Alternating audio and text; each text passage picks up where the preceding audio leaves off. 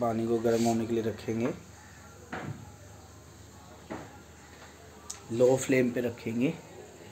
Flame low होना चाहिए। दो मिनट।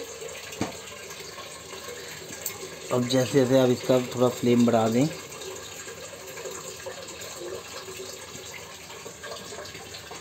पानी गर्म होना चाहिए ताकि इसकी भाप बननी शुरू हो जाए।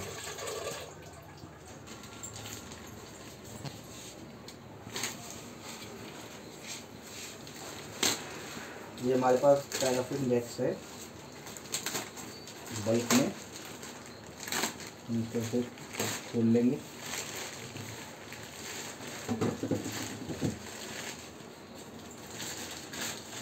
सारी एक जगह इकट्ठी कर लेंगे।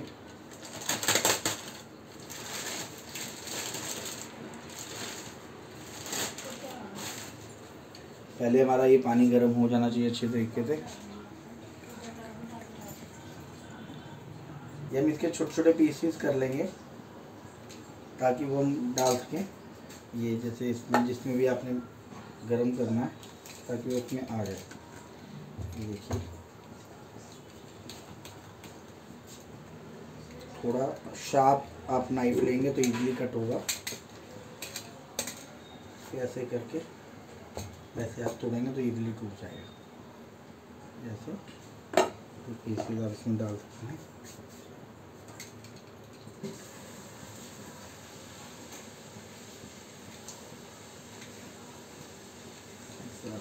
लाइन लगा लीजिए आपका लिक्विड हो जाए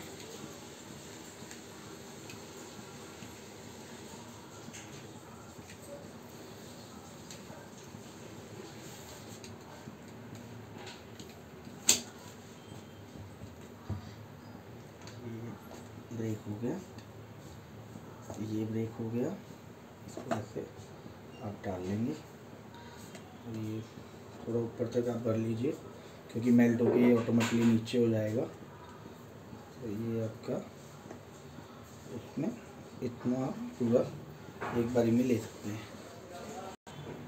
अब आप ये वेसल को आप इसमें ऐसे टिका दीजिए पानी के ऊपर, ताकि वो आपके टिक जाए। तो इस चीज़ का ध्यान रहे कि ये पलटे ना और आराम से इस पर टिक जाए और वो हीट से मेल्ट होती रहेगी।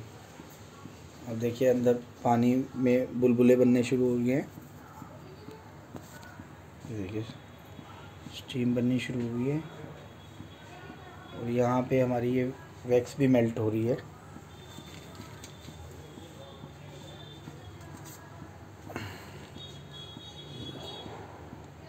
वैक्स मेल्ट होना शुरू हो गई है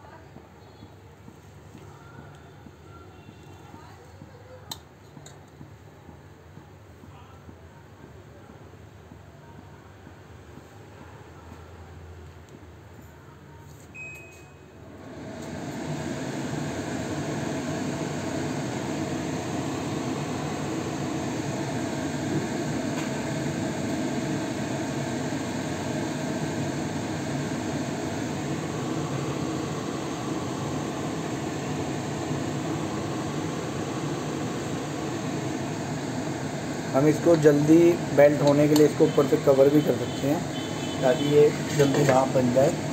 तो हम इसको ऐसे कवर कर देंगे तो जल्दी हीटअप होगी। ये देखिए अब ये मेल्ट होना शुरू हो गई है। हमने जब स्टार्टिंग में ली थी तो ये पूरा ऊपर तक भरा हुआ था, अब ये हाफ़ हो गया। आप चाहें तो इसी के बीच में और ऊपर से ऊपर ऐड ऑन कर सकते हैं। बट पहले एक बार इसे पूरा मेल्ट हो जाना देखिए, पानी भी पूरा गर्म हो चुका है। खद्दे उसमें पड़ने लग हैं। It reach up to its boiling point no wax start melting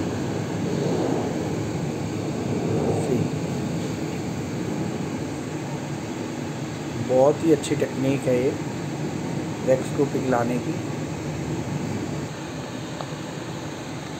एक अभी ऑलमोस्ट मेल्ट हो चुकी है।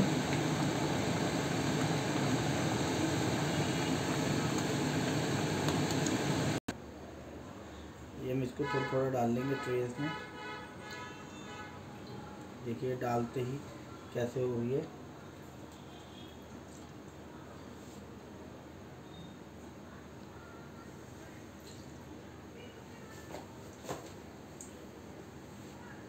इनको आपको अच्छी तरीके से प्रॉपर तरीके से हिलाना पड़ेगा ताकि ये जमे ना।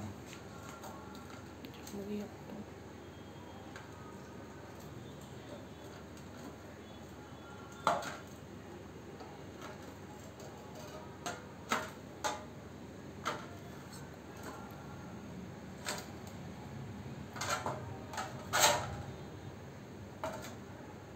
ज़्यादा ऊपर मत करिएगा नहीं तो ये फिर हो जाएगी।